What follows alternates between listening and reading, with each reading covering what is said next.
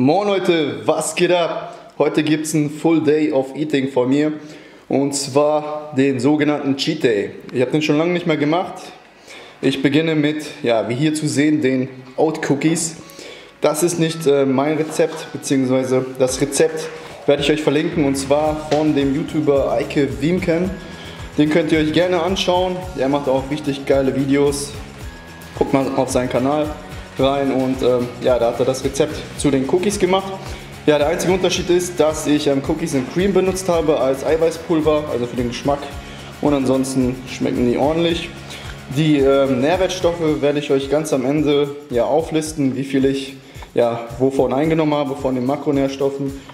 Und ähm, ja, das ist die erste Mahlzeit, die ähm, ja, Oat Cookies, die Haferflockenkekse. So Leute, als Zwischensnack haue ich mir zwei Oreos Double Choc rein. Einmal mal zwischendurch und rein damit. So Leute, die nächste Mahlzeit ist eine 4-Käse-Pizza. Einmal fertig gemacht, fertig gebacken. Dazu nochmal zwei Oreos, Double Choc und ein bisschen von der Soja Vanille. Ja, kennt ihr wahrscheinlich auch. Und ähm, ja, das wird jetzt reingehauen. Ja Leute, das ist meine letzte Mahlzeit. Ähm, ja, ganz schlecht ähm, Grillfleischpute, genau gesagt, mit leicht Ketchup drüber. Ähm, ja, für die harte Variante hat es jetzt leider nicht gereicht. Und dann noch eine asiatische Pfanne, also Gemüse mit dabei. Ähm, vorher gab es natürlich wieder Oreos. Oh, Oreo Double Choc. Und ähm, ja, hinterher gibt es nochmal Cliff Bar, ähm, Chocolate Almond Fudge ähm, oder wie auch immer das Zeug ausgesprochen wird. Ähm, ja, mit Mandeln und Schokoladenstückchen und ähm, nebenbei ja, wieder die Sojamilch Vanille. So Leute, ähm, jetzt könnt ihr auch mal mich sehen. Ich möchte dazu noch etwas ähm, ja, sagen. Also hinterher gibt es gleich noch die Makronährstoffe ne, und die Kalorienanzahl. Ähm, ihr werdet feststellen, ähm, dass es halt nicht so viele Kalorien sind. Ich hätte natürlich viel mehr reinhauen können und so weiter und so fort. Aber ähm, wie ihr das vielleicht von Cheat Days kennt. Und, ähm, aber bei mir ist es halt so, ich hatte jetzt etwa drei Mahlzeiten mit ein paar Snacks dazwischen. Ähm, ja, das waren drei Mahlzeiten, also mit dieser hier, ein paar Snacks dazwischen, ein, zwei Snacks. Und genau gesagt war das nur ein Snack, also die Oreos dazwischen, die ich ähm, abgefilmt habe und mehr habe ich nicht gegessen.